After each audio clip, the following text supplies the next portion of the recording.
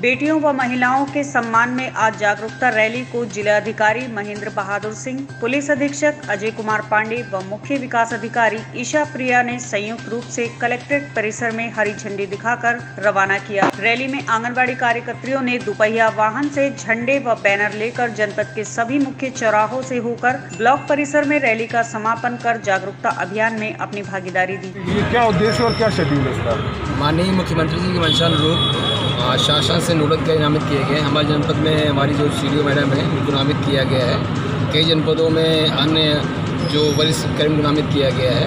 इसका उद्देश्य यही है कि लोगों में जागरूकता आए। लोग जो माननीय मुख्यमंत्री जी मंशा है शासन की मंशा है उसको समझें। और महिलाओं का सम्मान करें आदर भाव रखें और कहीं पर कोई भी घटना होती है सूचना दें तत्काल ताकि तत्काल कार्रवाई किया सके। कितने दिन का प्रोग्राम है? ये प्रोग्राम चलता रहेगा ये प्रोग्राम चलता रहेगा। एक सौ अस्सी दिन का ठीक।